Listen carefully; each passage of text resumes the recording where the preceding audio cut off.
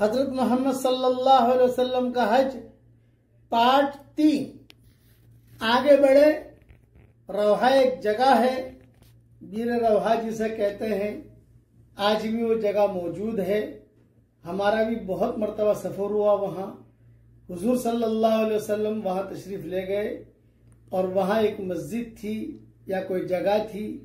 حضور صلی اللہ علیہ وسلم نے وہاں نماز پڑھی اور آپ نے فرمایا مجھ سے پہلے ستر نبیوں نے یہاں نماز پڑھی ہے۔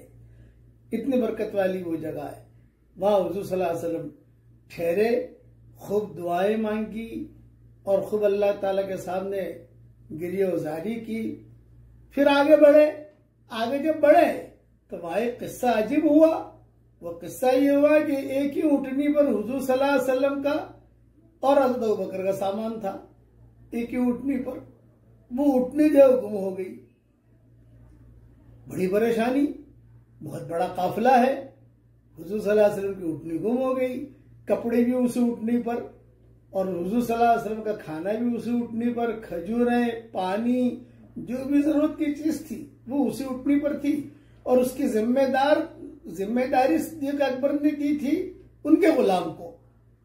کہ ان کے غلام سے کہا تھا کہ یہ اٹھنی ہے۔ اس اٹھنی کے اوپر میرا اور حضور صلی اللہ علیہ وسلم کا سارا سامان ہے اور یہ اٹھنے کی ذمہ داری تیری ہے۔ اب پڑاؤ ڈالا۔ جب پڑاؤ ڈالا تو قافلے تھے سب الگ الگ، سب نے اپنے اپنے کھانے بنانے شروع کیے اور کھانا کھا رہے اور صدیق اکبر اور حضور صلی اللہ علیہ وسلم جو ہے وہ بیٹھے ہوئے۔ ہیں صحابہ دیکھنے لگے کہ بھئی آپ کیوں خاموش بیٹھے ہیں؟ آپ کا کھانا کون پکا رہا ہے؟ کیا مسئلہ ہے؟